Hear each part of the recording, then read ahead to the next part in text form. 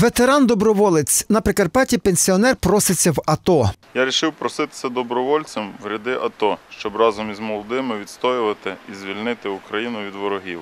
Я ще ціпко можу тримати зброю в руках. Прошу зважити на моє прохання. З повагою до вас, Дмитро. Прикарпатські військові досі не можуть оговтатися від шоку. Цього листа їм написав 87-річний дідусь. Мені, чесно кажучи, відняло мову.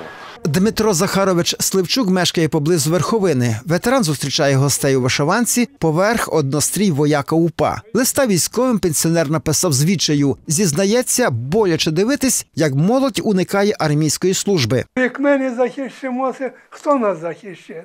Нас чужі люди не, за, не захищають. Якщо це будемо всі се ховати, так все, незалежність ми втратимо. А втратимо не так усе. Ми як упадемо зараз на коліна, ми вже ніколи не піднімемося. Бо це віки підіймалися. Попри поважний вік, військову справу дідусь пам'ятає добре. З 15 років був підпільником і зв'язковим. В УПА його знали під псевдо Дмитрик, як найшвидшого поштаря в окрузі. Під час партизанки Дмитро Захарович пережив два поранення, кілька разів дивом рятувався від засідок карателів НКВС. Я дуже був прудкий, так що ніхто так не міг швидко сходити туди, це туди, як я. От. Бо тоді телефонів не було. Це жива зв'язь була. З віком ноги втратили молодечу пруткість. Дмитро Захарович розуміє, на передову йому зась, та попри це готовий допомагати бійцям АТО як тільки може. Я знаю, що умови нелегкі.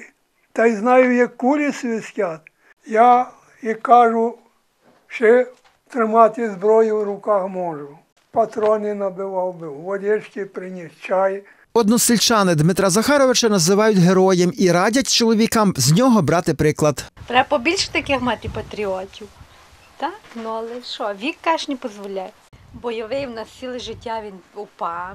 Військові, хоч і вражені патріотизмом дідуся, та прийняти його добровольцем не можуть. кажуть, відвоював своє. Дмитру Захаровичу зараз вже сама більше допомога потрібна самому, чим він зможе комусь. Свій час він віддав багато і здоров'я за Україну.